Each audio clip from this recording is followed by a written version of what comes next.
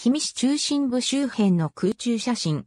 1975年撮影の4枚を合成作成。国土交通省国土地理院地図、空中写真閲覧サービスの空中写真をもとに作成。氷見市は富山県北西部に位置する市である。能登半島付根の東側、富山湾西岸に所在する。法通る丘陵で石川県と県境を接する。標高はイスルギ山の方が高いが、最高地点は隣の中野都町に属する。氷見の地名の由来について、氷見市ホームページでは、1、古代、エゾボウビののろしを監視する場所で、のろしの火を見るところだから氷見と言った。2、海を隔てて、立山連峰の万年雪が見えるところだから、氷見と言った。3、海のいさり火が見えるところだから氷見と言った。4、海が星上がって陸地になったところだから、火海と呼んだ、と様々な説があると紹介している。かつて、氷見町には伝統会社があった。松坂水力電機が、氷見電機より事業を譲り受け5月し、氷見支社を設立。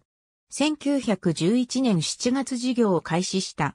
氷見町に発電所があり、供給区域は、氷見町、加納村、稲積村、久保村だった。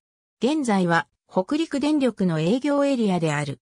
氷見市役所級庁舎小松製作所、氷見村田製作所、三京立産など、商店街を含む昔からの市街地は、氷見駅周辺から北へ海岸近くに伸びている。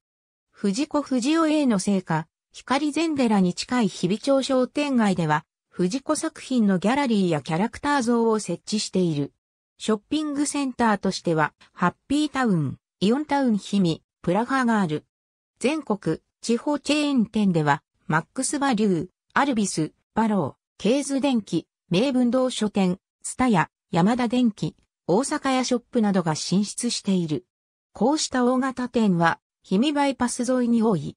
氷見漁港に併設された、場外市場、非未番野外など海の幸、氷見温泉郷などを目当てに訪れる観光客も多い。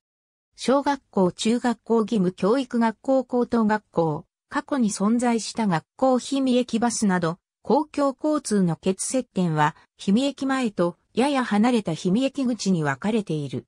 路線バスはこれらと高岡駅前や石川県、七尾市との県境に近い市北部の秋地区などを結んでいる。氷見市街地周遊バスを含めて、下越能バスが運行している。このほか、北陸新幹線の新高岡駅前を含む、高岡市と和倉温泉を結ぶ特急バス、和倉イナーが、氷見市内を経由する。大堺洞窟住居跡上碑寺の遺町。ありがとうございます。